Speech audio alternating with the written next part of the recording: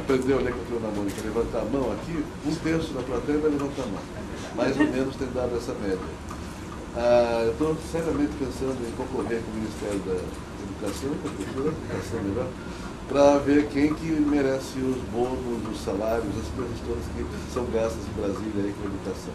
Acho que eu teria direito a um pouquinho disso também, porque efetivamente nós não só estamos educando, entretendo, entretendo educando, como também estamos evitando que saiam dólares preciosos na exportação de cultura alienígena que chega por aqui meio facilmente e às vezes se introduz na nossa cultura também, na nossa criança. Mas esse é outro papo, é outro papo político, não é o caso. Esqueçam isso que eu falei agora na última frase, não é o caso. Uh, eu queria falar mais de um produto novo, novo, mas parece que todo mundo já viu. Porque todo mundo já viu mesmo a Turma Mônica nos últimos 52 anos. Só que não viu desse jeito. Alguns de vocês talvez nem conheçam a nossa série de livros da MSP 50. Esse é o terceiro número que vai sair, esse livro.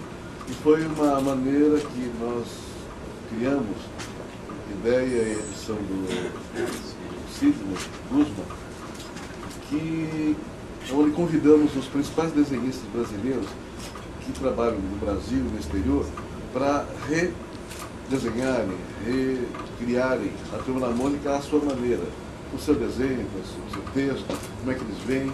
E daí, para nossa surpresa, mim, do Sidney, o pessoal da casa aqui, de editor também, todos eles tinham uma belíssima lembrança, tinham a Mônica no seu, na sua, no seu inconsciente, no consciente, ou como parte da vida, da, uma parte da vida deles, na hora do, do do conhecimento da, da, leitura.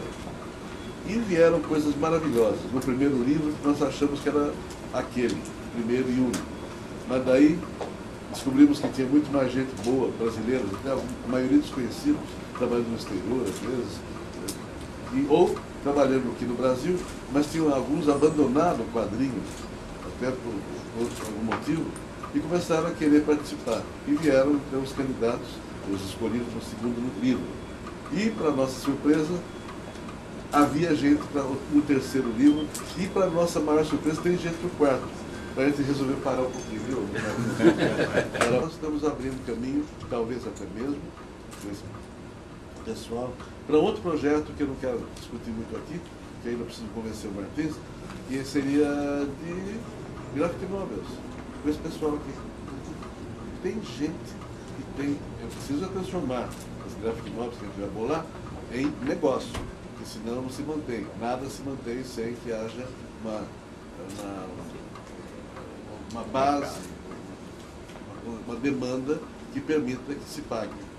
Eu, não, eu sou artista, mas não sou louco, então a gente não pode fazer coisa que não se pague, senão a gente vai desenhar na, no guardanapo do bar, como alguns colegas meus faziam, e eu, desde o início da minha carreira, decidi que eu não ia fazer isso.